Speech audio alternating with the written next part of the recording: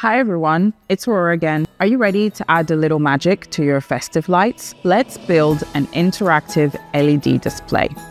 I've got my plug and make kit ready. An Arduino Uno R4 Wi-Fi, some Modulino buttons, a Modulino distance, some Qwiic cables, and LED strip. Let's start by connecting the LED strip. Attach the red and white wires to the 5V and the GND pins, and the blue wire to the digital pin 6 now, we're then going to plug the Modulino buttons and Modulino distance.